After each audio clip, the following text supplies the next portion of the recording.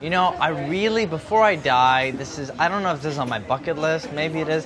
N- not high, but definitely somewhere in there. I just want to take an electric guitar, just like, not, I won't be able to, maybe I'll learn it someday, and just like play it, and then just go and take it and slam it. Smash it. But it feels like I need to be in front of people. I can't be by myself, because then I'm just like.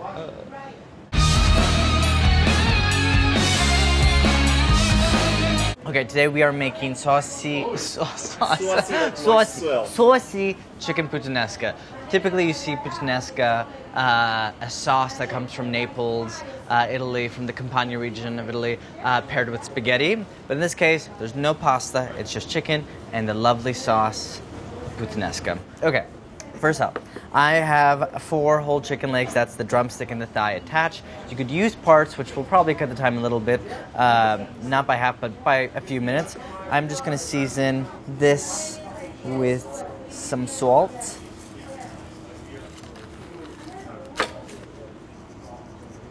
Okay, we'll set that aside. I'm gonna wash my hands. I'm just gonna prep some of the ingredients. A lot of these you don't need to prep, it's not uh, too much. I'm just gonna peel four cloves of garlic, six Six cloves of garlic. Okay, so I'm gonna thinly slice all this garlic. What's that? Did you have the pasta? It's delicious. What are you making today here, bud? Chicken puttanesca. We're just in Italy. You- You were just in Italy? No, no, no. Just like this is just. an Oh, close Italy our eyes episode. with Yeah, yeah. I get that. Have you been to Naples? Have I been to Naples? No. Have you been to Italy? Yeah, three times. Well, my grandfather is. They were from Naples. Oh, To get down there. We have our chicken seasoned, our garlic sliced. I'm just gonna pit the olives. Ooh, ooh. These are Castelvetrano olives. Um, I prefer Castelvetrano olives only because they have like a mild buttery flavor to them. But you could use kind of whatever olive you like. I think they work better because I don't want to go with an olive that's super salty because you already have a lot of salty flavors between the capers and the anchovies, and so I like an olive that's a little bit more on the mild side. My pitting method is just uh, oh. Some people will use the side of a chef's knife. I just go and take whatever kind of flat bottom bowl or mug and I just kind of smash it down. And then once all of them are smashed, I'll just remove the pits. I like to leave them on like the craggly side. I don't chop them up. I want kind of like big, meaty, fleshy pieces of olives. Okay. One by one. See, I kind of like them like that. You know? Play this in real time.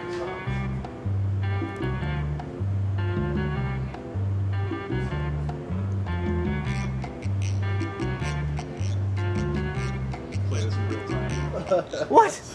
This is how, what, this is just like how what life is in Italy. You're just pitting olives and slicing garlic. Ciao. I wish I could speak Italian. Okay, I'm gonna take um like two strips of lemon.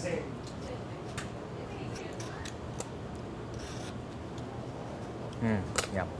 I don't think this is very traditional, but I like the kind of floral, citrusy, fragrant smell you get from the peel. And then we'll serve it with more lemon wedges.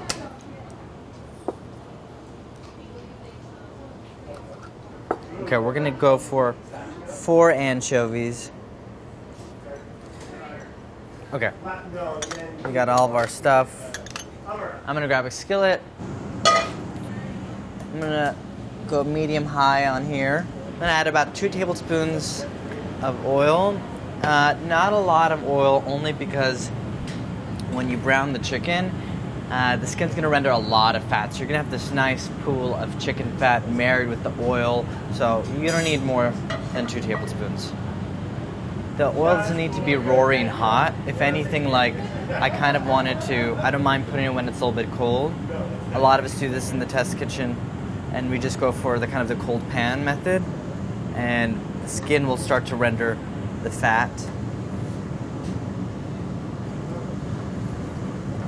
Skin side down first.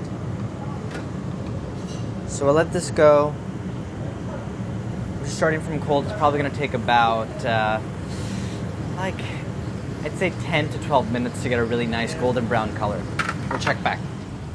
Okay, so chicken is brown underneath. You can see the edges getting brown. I'm just gonna flip them.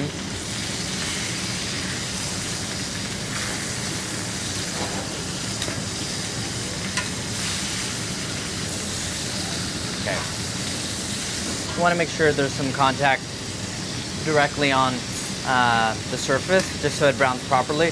The other side's probably gonna take only a few minutes, so I would check after three minutes and then we'll set it aside and then cook down the aromatics. Okay, I'm gonna remove the chicken. Obviously this is not fully cooked, but it's gonna go in the oven and finish cooking. Set that aside. Now I'm gonna add the garlic and the four anchovies. I just add the anchovies whole because they're gonna they're gonna break down and get all speckly. You'll see how like the uh, chicken has released a good amount of fat in addition to the olive oil that we use. If your chicken releases a lot more fat, then I would just pour some out, set it aside, save it for something else. For this, this seems like a good enough fat, and I like having a, a nice pool of fat because that kind of tames all the kind of salty, briny flavors. I tested this recipe quite a few times, and I found that I only need to season the chicken, and the and the salt from the chicken that was more than enough to season the entire dish because you have the anchovies and the capers and olives. You'll see that the anchovies have broken down, and I'm just kind of scraping any kind of brown bits. I'm not looking to kind of get the garlic crisp or, or brown. I just want it to soften. I love this. So much garlic. Definitely not a date night dish. Who cares? Make it for yourself. I'm gonna now add some red pepper flakes. I'm going for about half a teaspoon. I like it a little bit spicy. We're just gonna heat that in the oil and let it bloom. And then I'm gonna add two tablespoons tomato paste. I'm gonna stir that around until really the tomato paste is just has split. Now I'm gonna add three quarters cup white wine.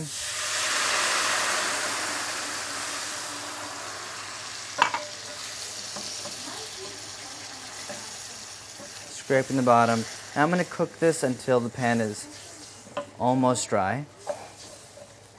You'll see you have that nice red color from the tomato sauce. And then while this is simmering, I'll add the olives, the capers, lemon strips, bay leaves. And you're just gonna cook this until the wine has reduced. And then we'll add some water, nestle in the chicken, and then transfer in the oven to, to further cook.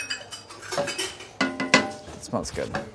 Okay, so the wine has mostly reduced. I'm just gonna add a cup of water. Bring that to a simmer. Jiggle, jiggle, jiggle. Jiggle, jiggle, jiggle. Okay, it's starting to bubble. I'm gonna just nestle in the chicken.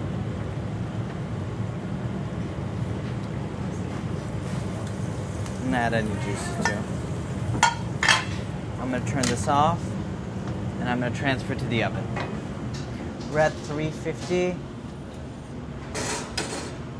Ah.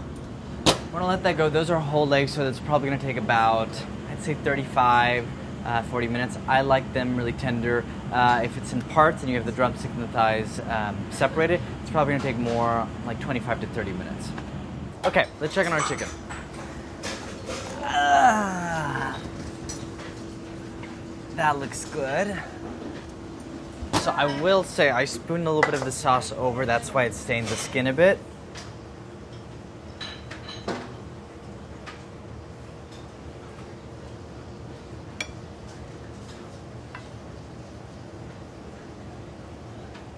Chicken legs are really hard to play because it always looks like they're it's like dancing legs.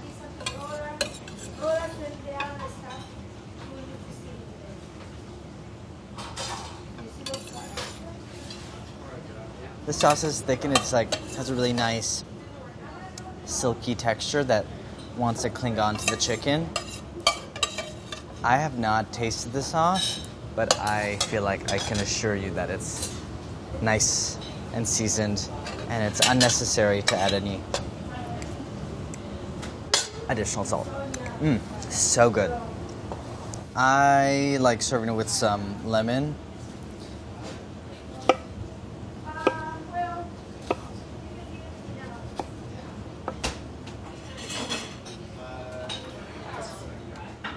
I like serving with uh, lemon, but I also like a little bit of drizzle, uh, dri- dri- drizzle of fresh oil.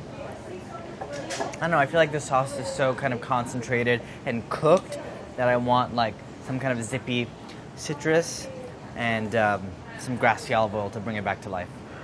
Sohla, do you want to try this? I'm not asking you, Sohla. You know what was funny? What? At home, right before you did this, You, your husband, made chicken puttanesca. And you have said that your husband. You guys are connected. We're connected. So tell me about your chicken. Uh, browned it and then set that aside and then cook down the aromatics of just like garlic, anchovies, uh, very kind of classic puttanesca, uh, capers, olives, wine, uh, a little bit of water to make it more saucy, and then I like to finish it with some more olive oil on top and then lemon wedges. I really like this because then you can It's very satisfying. It's anything. very- yes, you can puttanesca anything. You really can. It's Can I lemon you? How long are we supposed to stay here and eat? I don't know, as long as they tell us to. Where's the bread? We'll get some. I don't know. We'll figure it out.